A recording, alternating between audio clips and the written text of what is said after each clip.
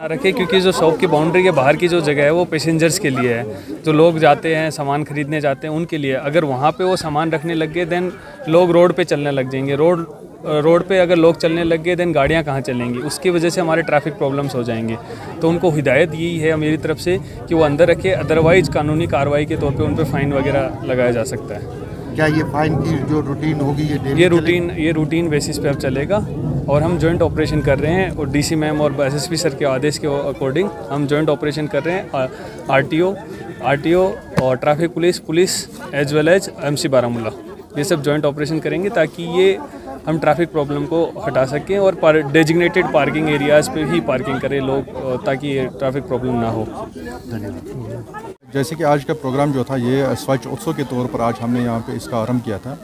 तो स्वच्छ उत्सव को लेकर में हम ये संदेश पहुँचाना चाहते हैं अपने लोगों के सामने कि यूज़र चार्जेस का खास ख्याल रखें और हर एक घर में या कोई कमर्शियल एस्टेब्लिशमेंट हो या चाहे रेजिडेंशियल हो, वहाँ पे डस्टबिन का इस्तेमाल करें।